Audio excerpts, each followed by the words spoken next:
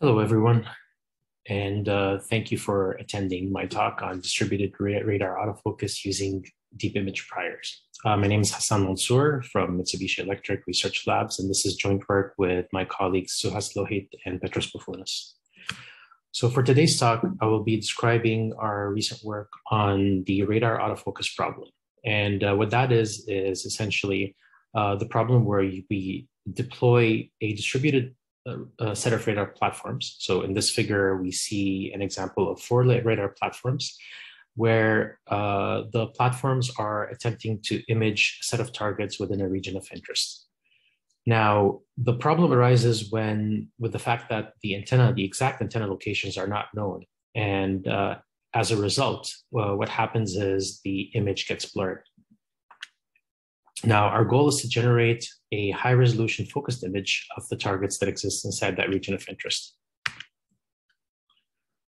Now, to formalize the problem, uh, let's assume that we're given a set of M radar antennas and uh, we are attempting to reconstruct a, uh, an image of the scene and which we'll label by X and uh, X is located inside of domain omega. If we consider a, uh, an individual antenna pair, transmitter receiver pair, and let's label that or index it by M, then the set of measurements for the mth uh, antenna pair are represented by ym, which is equal to the linear radar operator a sub m that multiplies the radar image x. And that linear operator am is the uh, radar propagation operator, and it depends on knowing the exact location of the transmitter and the receiver. Now, uh, to review radar imaging uh, really quickly, uh, assume that we have three antennas that you see in this uh, subfigure on the left. And if we consider just an individual antenna, uh, the set of measurements that are obtained by the antenna uh, located in the exposition over here of this scene uh, allow us to compute or basically generate projected image corresponding to specifically that antenna that looks like the figure on the right. And what we see in the figure on the right is that um, there are uh, numerous candidate locations for the true targets. And in fact, what happens is we see that the true targets are located on these yellow arcs uh, that are represented in the image. Now, when we combine measurements from multiple antennas, like from the three antennas that you see over here, then uh, the, the superposition of the arcs from each of those antennas would allow us to identify the true target positions as identified by the circle, red circles that we have over here. And this is what a standard back projected image would provide us if the true antenna positions were known. However, if the radar operator itself is inexact, or the as a result of uh, incorrect uh, antenna positions, then what we see is the figure that that we just witnessed over here on the right hand side. And so it would be very difficult for us to actually identify the true antenna positions, which were labeled by the red circles in this image.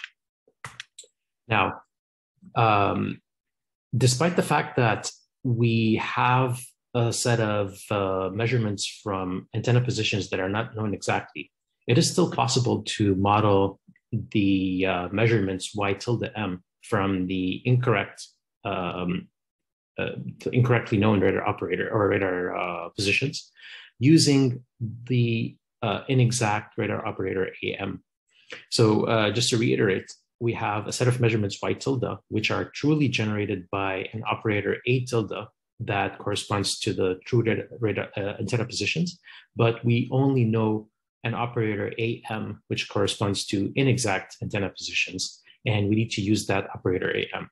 And so we're able to then represent y tilde for each antenna, uh, sorry, transmitter receiver pair indexed by m as y tilde m equal to is equal to a, uh, an unknown gain and phase vector that element-wise multiplies the product of AMX.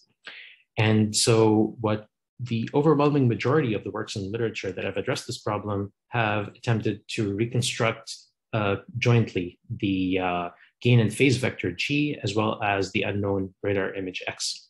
However, that model actually has its problems. And specifically, um, that model is only accurate or um, it's accurate enough if the antenna perturbation or the, the, the, inaccurate, the, the inaccuracy in the position is restricted to the downrange and if the targets are in the far field. And that's because uh, the for, for every antenna transmitter receiver pair, we have a set of F equations corresponding to the number of frequency bins that are captured by each uh, propagation pulse. Uh, but we have F plus N unknowns. And the first F corresponds to the number of entries in GM, or specifically the degrees of freedom in GM. And the uh, other entry N is the number of unknowns in the actual image that we're trying to reconstruct. Now, things would have been completely fine if we're able to find a low dimensional model for that vector GM. However, that is actually very difficult to find.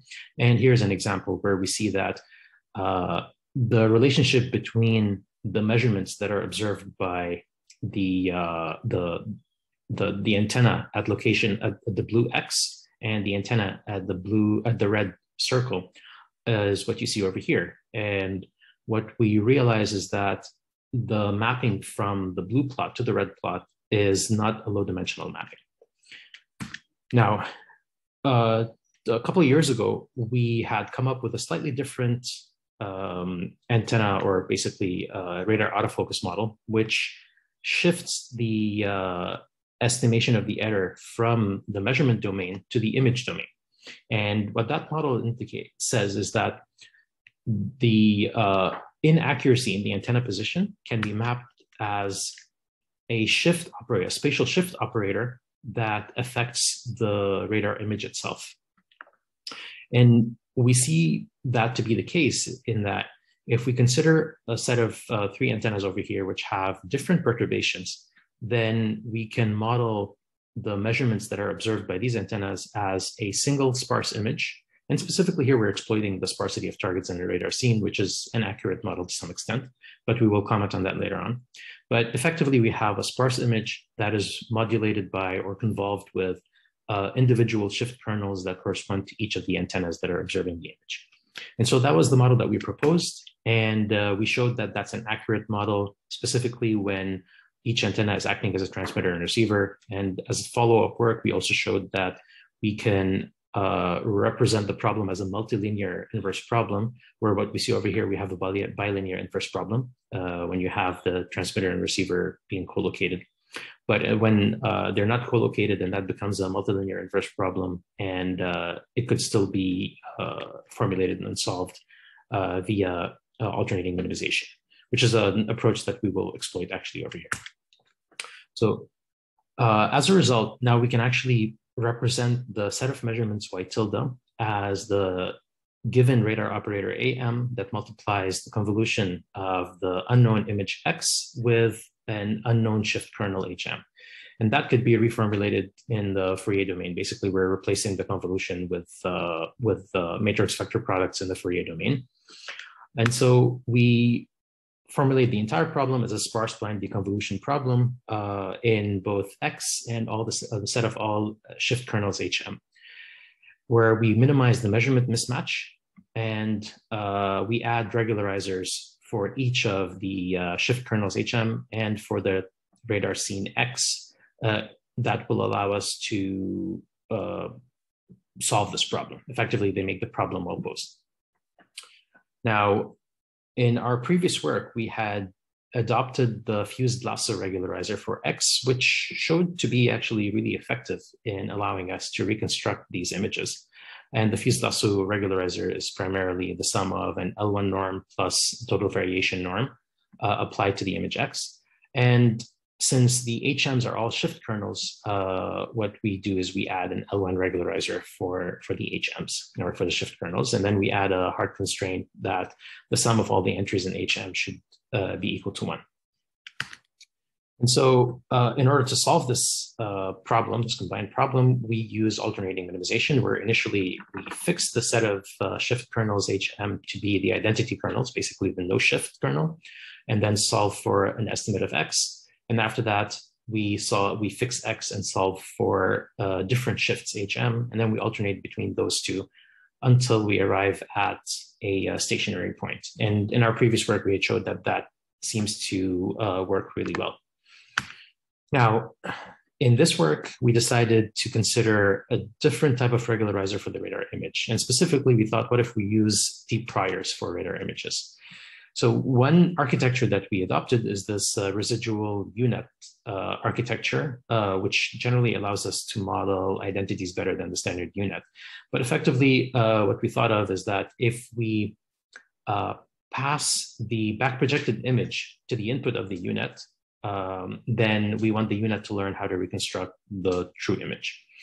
And we, and that eventually gives us a denoiser architecture. And the way to incorporate this denoiser into uh, the inversion process uh, is, well, there are two approaches. One of them is the pl plug and play approach. And uh, the other approach is to use this regularization by denoising approach, where uh, the, regularizer is explicitly modeled as X transpose times X minus DFX, where D is the deep denoiser that we've, uh, that we've trained. Now, uh, to train such a model, uh, we generated a simulated uh, data set where we have four radar arrays with uh, 26 antennas each, and then we illuminated the scene with a um, six gigahertz pulse with uh, a nine gigahertz or six gigahertz center frequency with a nine gigahertz bandwidth. And uh, we allowed antenna perturbations to be in the range of 2 lambda and up to 3.5 lambda, where lambda is the wavelength corresponding to the center frequency. So we generated 100 distinct target uh, configurations with, for a total of 7,200 training samples, and those are supervised samples. And uh, so for each of those ground truth images for the distinct target configurations, we simulate uh, radar measurements with a different number of antennas and we varied the amount of noise and also uh, we generated both back projected images using the true um, radar operator and the incorrect radar operator. And uh, just to give an idea of what the, um, the, the training data set looks like. So this is an example of a back projected image that goes into the input to the U-Net. Uh, this is uh, the denoised image that it produces, and this is the ground truth image. Uh, and it shows that actually the reconstruction is very nice. Uh, but also in the case where you have the wrong operator, so the previous image was for a true operator, for the wrong operator, uh, it still is able to identify target positions, but it adds additional targets to the problem or to the denoised image.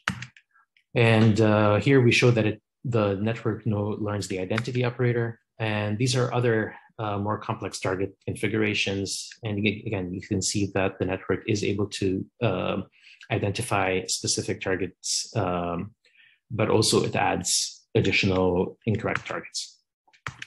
Now, in order to solve this problem, uh, where at least the subproblem that corresponds to X, we adopt the accelerated proximal gradient algorithm. And what that does is basically in the first step, we try to minimize the um, 1 minus a tilde x plus x minus uh, an estimate v, where v is coming from the output of the denoiser. Uh, and then we iterate using an, uh, uh an Nesterov acceleration. But once we do that, uh, even if we know the true radar operator, what we see is that the uh, algorithm quickly starts to diverge. And you see over here that by the 15th iteration, we're already losing the true targets and 20 and 30th iteration, now we see that we have a lot of noise actually in the image that was not even uh, used in the, that, that was not observed previously. And that is a result of uh, the fact that the network is seeing noisy images that it has not been uh, used to. Now, one way to uh, fix this problem is either to use uh, unfolded training, but what we realized, and this was uh, an idea that was kind of inspired by the work of David Gilton, Greg Ongie, and Rebecca Willett is that uh, the network uh, knows how to denoise signals that are in the range space of A. And so instead of just passing Z as we did in the previous algorithm, what we do is we project Z back onto the range space of A and then uh, apply the back projection operator before we run it through the denoiser. And as a result, we can see now that the network performance is stable. So we incorporate this idea into the altern alternating minimization approach. And uh, what we're showing over here is the reconstruction compared to the fused lasso, our previous work. And so this is for the first iteration. Uh, and then as the iterations progress, we can start seeing that uh, the network reconstructed. This is another target configuration that we're showing over here. Uh, again, the network, or basically our algorithm is able to reconstruct the target positions, uh, whereas the fused lasso has a lot of spurious noise. So in conclusion, we see we have seen that incorporating these deep priors does boost the performance of radar autofocus so long as we uh, apply the deep priors in a um, in an informed way. And uh, as part of our future work, we plan to uh, recover the true antenna positions as part of the, the, the, the deep learning approach. Thank you for listening.